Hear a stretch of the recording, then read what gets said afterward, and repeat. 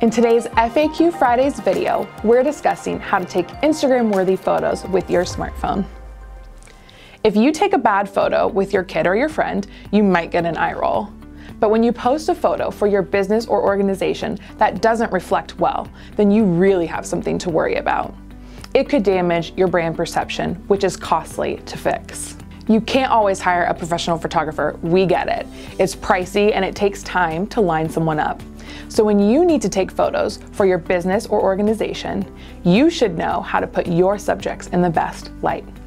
Here are three tips for how to take better photos with your smartphone. Tip 1. Be sure to use grid lines. Did you know when you open your camera on your phone, if grid lines don't automatically show up, you can actually turn them on in your phone's settings? Using grid lines is important because it assists you in following the rule of thirds by placing your person or product along the lines. This allows your photos to appear balanced. Tip 2.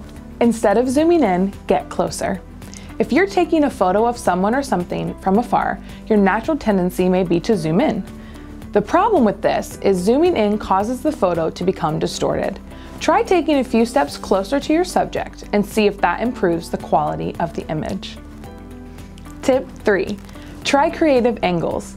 Get creative to get noticed. Try a more engaging angle or a different perspective.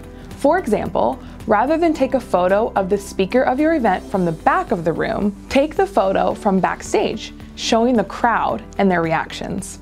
Or if you are taking pictures of a new product, try taking an aerial photo and see how that changes the feel. At Priority Marketing, we help our clients put their businesses in the best light possible. Whether it's on Instagram, Facebook, or email marketing, we use these tips to take eye-catching photos with our phones to best serve our clients. Do you want to turn on your brand through social media? Then give us a call or visit us online. And if you don't want to miss out on more PR and marketing tips and tricks, follow us on our social media channels. Thank you for watching and we'll see you next Friday.